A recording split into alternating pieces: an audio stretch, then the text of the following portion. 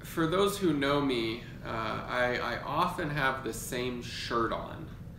And the back of that shirt, it's an apologetic shirt from this church, one of our ministry shirts. The back of the shirt says, Ask me about God.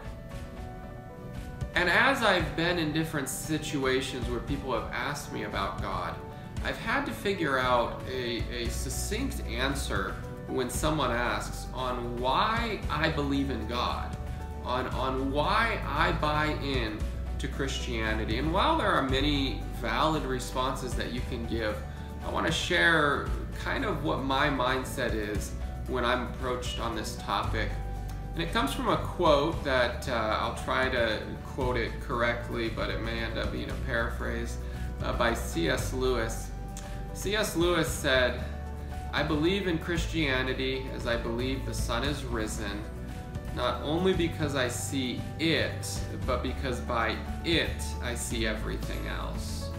And when you look at that quote, the whole idea here is that there are a few direct evidences for Christianity. And I would say something like the resurrection of Jesus Christ, the historical resurrection, is a great evidence, just a blatant evidence that Jesus is God, that Jesus is Savior, that Jesus is Lord.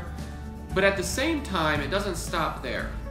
Not only is there direct evidence for Christianity in the sense of there's really no other conclusion possible with Jesus rose from the dead. He said he's God, he said uh, the truth, he said he's the way. But I think another aspect to this is that when you look at the Christian worldview, it not only can be seen through things like the resurrection, it explains everything else.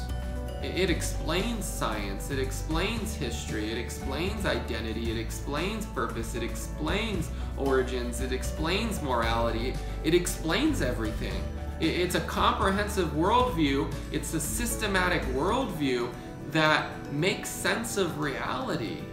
And so when I reflect on why I believe in Christianity, why I am a follower of Christ, it's because I have experienced Christ in my life. I have seen the clear historical evidence for his resurrection. I have seen through his word the evidence directly. And at the same time, I see how that belief and that worldview not only stops, but then explains everything else.